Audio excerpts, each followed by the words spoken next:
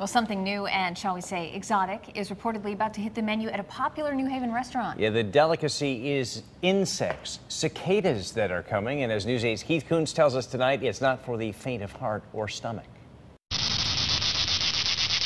All of us are familiar with the distinctive sound of cicadas.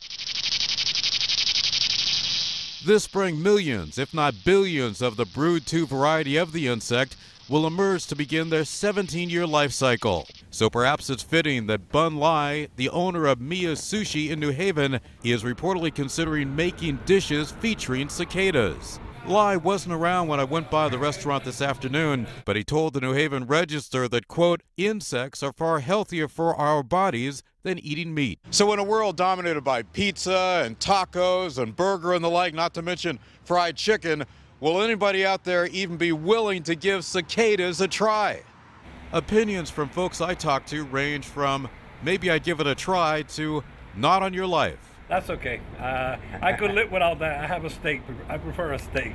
It's more nutritious to me. You're saying you wouldn't even give it a shot? I'll give it a try. I definitely will give it a try, but it's nothing I would, uh, unless it's really got to be pretty tasty. That's about it.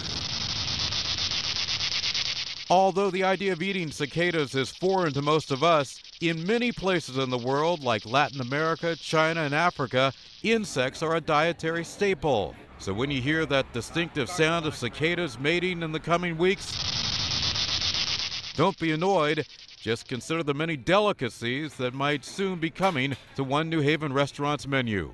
In New Haven, Keith Kountz, News 8.